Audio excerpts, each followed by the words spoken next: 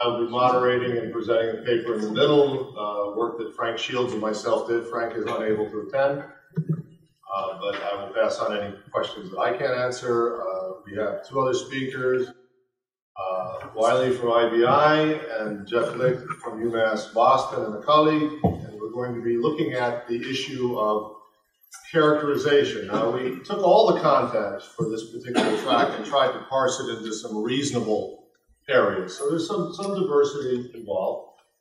Um, and really within characterization, we have uh, the IBI focus, which is a certification and really a sort of a minimum standard and some downside prevention. And Shields is more like a, a, partitioning of the basic fundamental properties, and then Jeff is getting into some exciting stuff uh, on making some blends and trying to predict in-soil type performances. So I don't I don't want to dominate. Um, there are three glasses of ice water up here for the three speakers. That's because if you go over, I'll just chuck the glass of ice water at you and slow you down. But I think the concept here is to be information exchange. We will be taking questions at the end of each speaker. We're not going to try to commingle the questions at the end. It gets too confusing and it becomes a popularity contest. So if you're hearing something in the talk, let's hold it to the end, and let's take a reasonable number of questions at the end, and then hold any additional questions, and the speakers will be available after the session, which leads into lunch. So you get access for the, the answers, um, and I appreciate it. So I'm going to just sit down and just move along. We're going to use this hour and 20 minutes to our best, and I'd like to introduce uh, Wiley, and I'm going to mispronounce your name by definition. Wiley is what you're on to. So, and,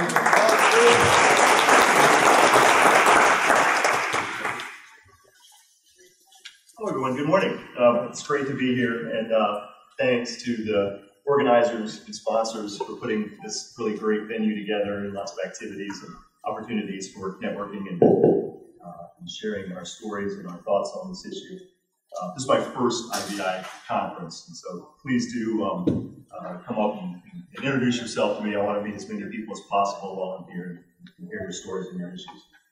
Um, my background is uh, really in the climate change field. I'm uh, an expert in the quantification of emissions from sources and removals by sinks of greenhouse gases, and I've worked in climate change policy for a number of years, um, starting with uh, work at the U.S. Environmental Protection Agency's policy office on the lead up to the Kyoto Protocol. Um, also worked in nonprofit and for-profit entities that have been trying to um, advance the field of carbon offsets, high-quality carbon offsets, the, our ability to measure those types of things. I've seen lots of different schemes and different strategies for, for mitigating climate change and greenhouse gas emissions.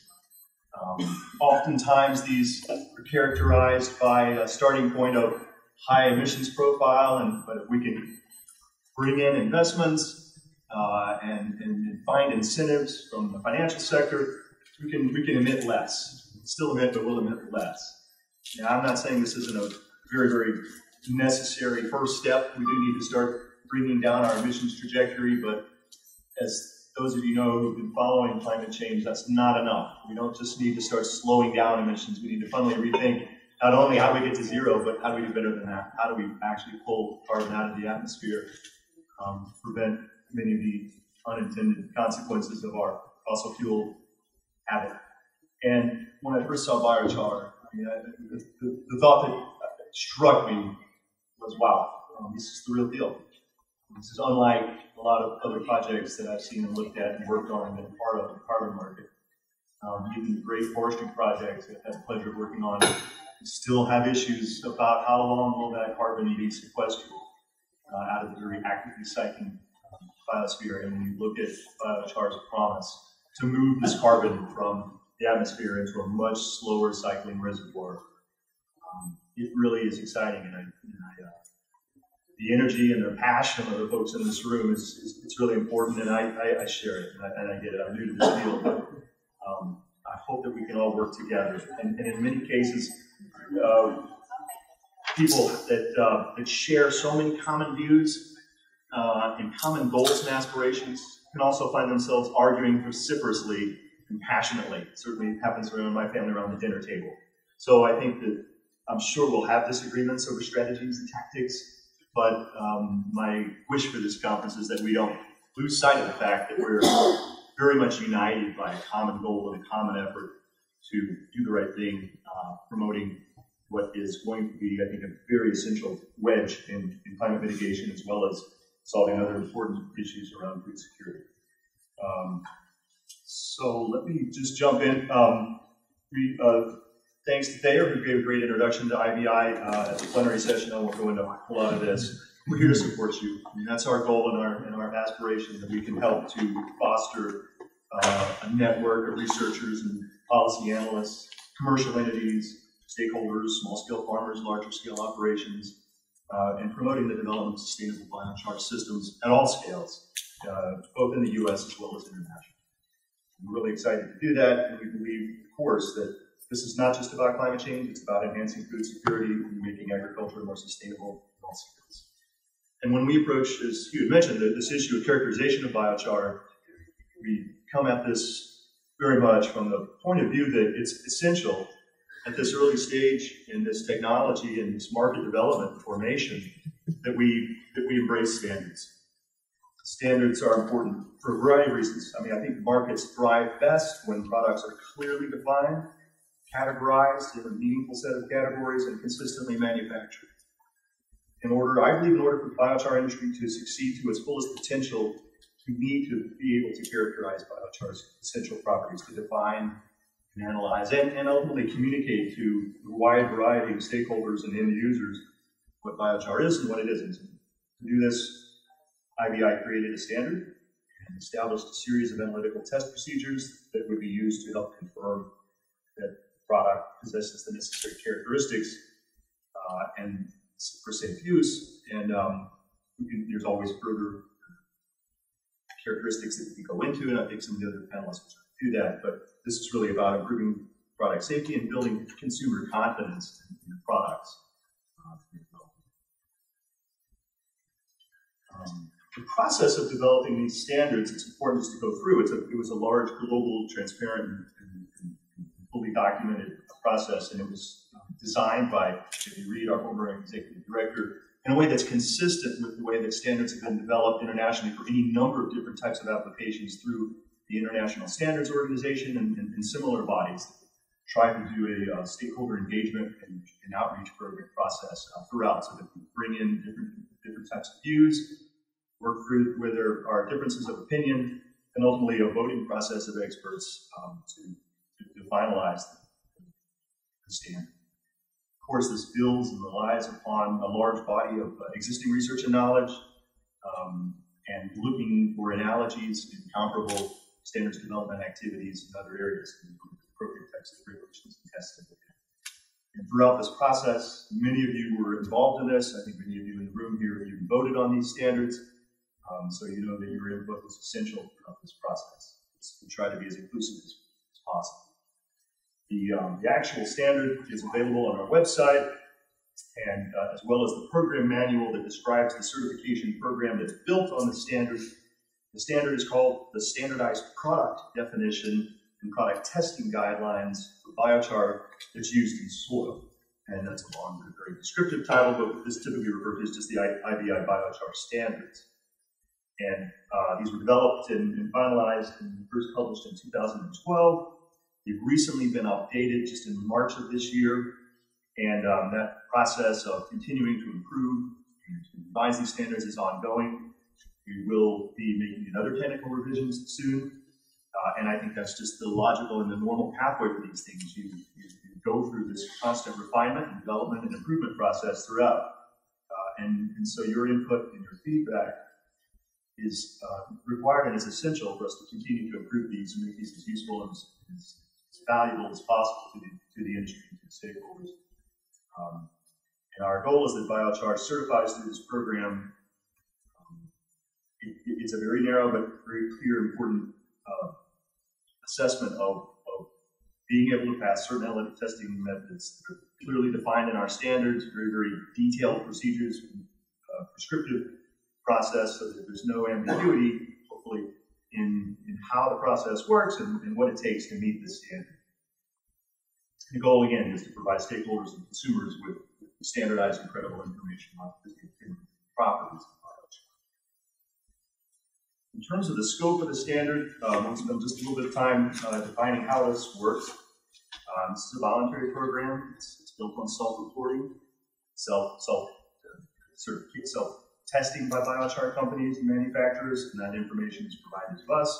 We go through it and review and ultimately hopefully certify the products. Um, at this time, the program is, is, is, focused specifically on the product itself. It's a product testing product certification. We're not we're not certifying feedstock. We're not certifying pieces of technology or equipment or systems. Um, in fact, it's, it's open to many different types of technologies. You can use any technology production that, that, you're looking at. Um, we're also we're also not certifying a blended product. We're certifying the biochar itself. And so um, if you're if you're intending to mix the biochar with other types of products, compost, or what have you, the, testing needs to happen before that blending and mixing occurs. Um, right now, the program is uh, only open to manufacturers in the United States and Canada. We would we, we intend to be able to expand this program to other geographic locations in other countries. Um, certainly have some uh, ongoing conversations about that um, as resources permit. It's not an easy and, and short process. It takes a long time. Um, a couple more things about this. Um, this standard is not um, it's not a sustainability standard itself. I think it would support a sustainability standard. It's not an end-use guideline certifying the appropriate application of biochar for a specific purpose or application other than using soil. Not saying it's biochar. We're not trying to match up a specific biochar for a specific cropping system. Um, the issues around sustainability are very, very important to us. We understand that we're going to have to continue to expand our work and, and do more to look at the full sustainability issues around biochar production. And we have already started work on the biochar sustainability guidelines. Uh, there are there's information and principles available on our website, uh, and that's an ongoing effort, and your participation in that um, we very much appreciate. These standards also do not um, do not address specifically the, the climate benefit. Um, we're not trying to quantify the, uh, the, life cycle carbon avoided through this certification program. It's very, very important to do that, but it's just outside the current scope of the standard. and of course, the feedstock does have to be biomass, so we're only certifying biomass processes. These types of certification programs um, are, are, are, somewhat common. There's a variety of different examples or analogies that we could look to, to um, uh, in other places. Certainly, the um, Forest Stewardship Council has made great inroads in trying to help certify forests that have been you know, grown and harvested in a sustainable manner.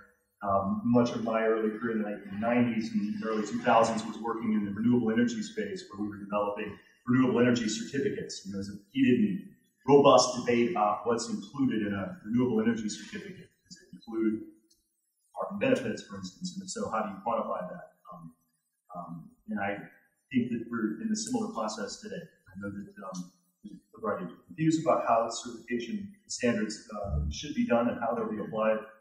Uh, but fundamentally, this is about helping provide um, market surety, um, assurances around product safety and end use, and certifications is a good way to address some of those concerns, and I think healthy for the industry and healthy for growth in the industry. Um, within the U.S., the organic program is another great example. 3% now, I think, of total food sales have been certified organic. It's $21 billion market value and market share is growing. So we see that this type of certification uh, has a real value. And of course, the U.S. Composting Seal of Assurance uses similar types of testing requirements and sampling procedures that we have drawn from for our standard. Uh, and dozens of companies have registered under the, the U.S. Composting uh, Council, and I think just about all 50 states. Um, at the core of the standards process, which underlies our certification process, are, are, are tested of the product itself. And we break these into three categories. Categories A and B are mandatory uh, for certification under our program, um, and test category C is optional. Category A is a test to look at the basic utility properties of, of, of the biochar, organic carbon content, nitrogen, pH, conductivity, and ash content are some of the categories. All of this information is available on our website, uh, and probably more detail. and longer to go through. We have time available today. Um, so for full detail, we'd be happy to go into more of this with you. Um, test category B is the toxicant uh, analysis and reporting uh, requirement where we're testing biochar materials and looking for uh, potential content of uh, toxicants and the concentrations of those we have in the standard um, allowable levels of uh, contaminants in, in biomass. Um, those are established by looking at uh, other regulatory requirements country by country, as well as um, consulting our experts group and, uh, and experts and researchers in the field. Um, and test category C is an advanced analysis that's optional, and that's getting more at the utility and the, qualities of uh, the biochar that might make it applicable and appropriate for different types of soil and things like available phosphorus and mineral nitrogen. So, so when we certify a product, it's it's a, it's a requirement for our standards, but also if there is if you're in a jurisdiction that has additional requirements uh, and limits, then that also would be would, would apply, of course. So why do we need to test uh, biochar for, the presence of potential toxic compounds? Mean, certainly, if biochar is produced improperly, it could contain contaminants that are harmful to human health and the environment. And it's that potential that we're addressing in this to provide, again, sort of market surety um, and to help grow and shape and form uh, the rapidly growing market. There could be different pathways, of course, for contaminants to end up in biochar. Some, in some cases, there may be contaminants in the feedstock that ultimately end up in the final product.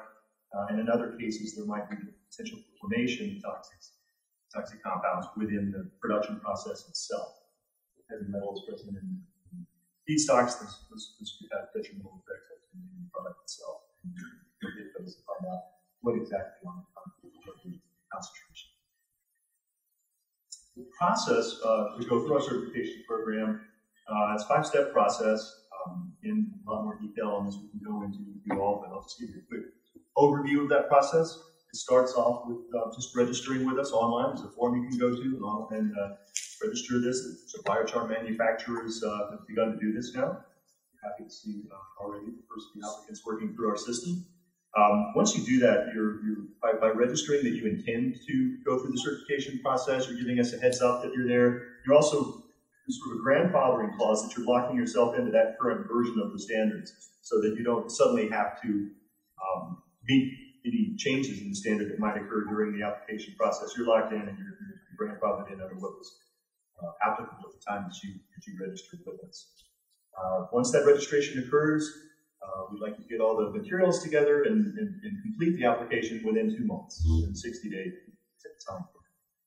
Um, once we have received a complete application, we'll do a review. If it's not complete, we'll tell you. We'll, write you back a letter and tell you. Um, our goal is to complete our review in 10 days. Obviously, we just started this program, working through some, some kinks and issues come up sometimes that require us to go back to our board, go back to our expert group, consult our legal advisors. So please bear with us. We may not be able to make it 10 days right now, but we're just getting this program started and, I'm sure we'll be able to do that as we have more experience in the belt. Certification, once, it's, once you've completed the process, is good for one year. Um, recertification will be required um, annually uh, in most cases. If there's changes in your feedstock, um, you define exactly what you mean by a 10% change in feedstock materials. Um, that would require us to go through this process again to make sure that the new feedstocks still meet this. So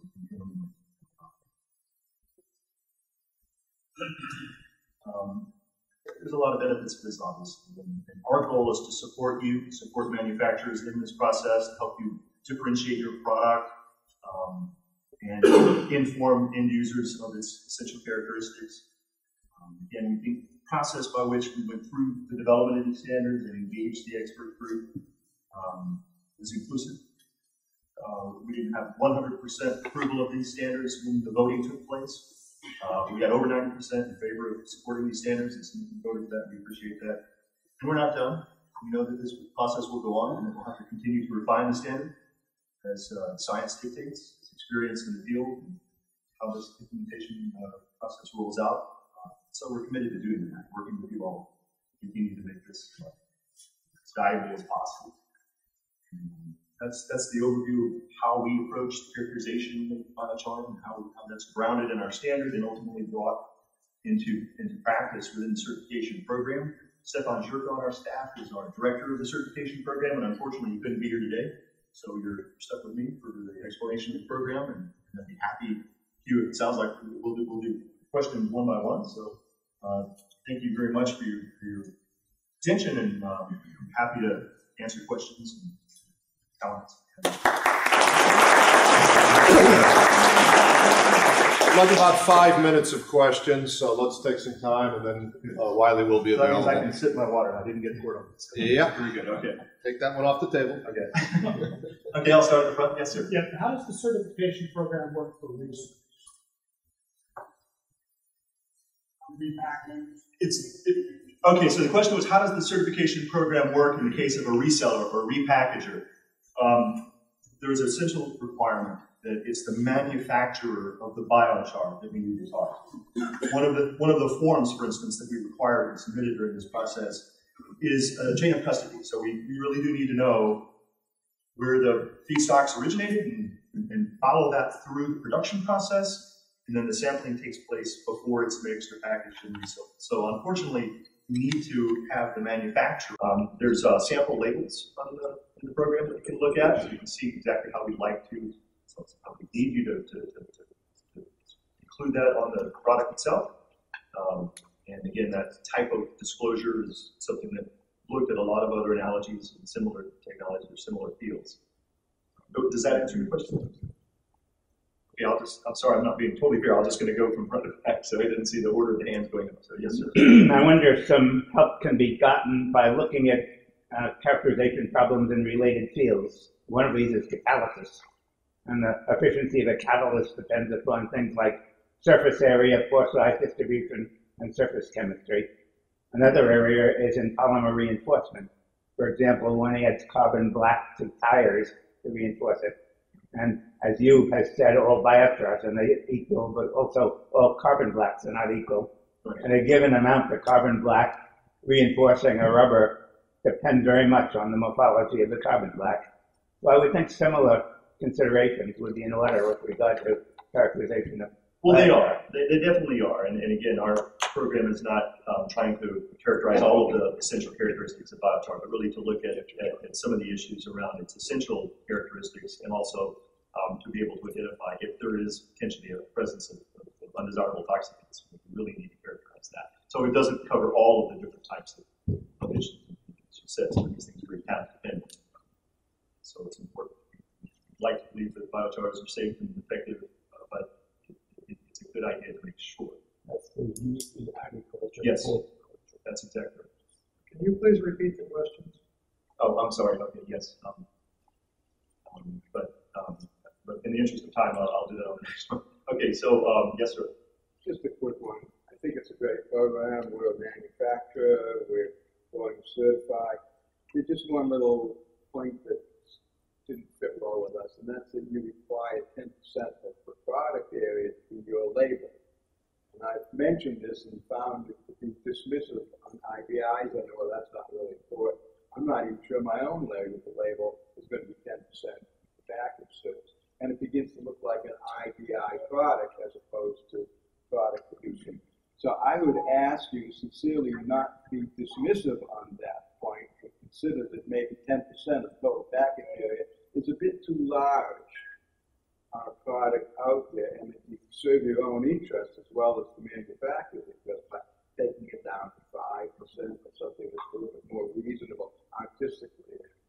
Uh, uh, So Okay, very good. So the, the question and comment was that we do have requirements in terms of the way that the label uh, of the IBI certification is, is, is ultimately placed on the product. Uh, and there's a size requirement, and I, you might have commented on this in the voting. I remember seeing a comment on this in the voting. So uh, the, the, the, issue or concern was maybe this is too large, maybe 10% is too large of an area. Um, and so we take your point well.